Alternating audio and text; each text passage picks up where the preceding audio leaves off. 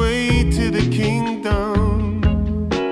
One day make a million, and the next can barely make ends meet. Soon as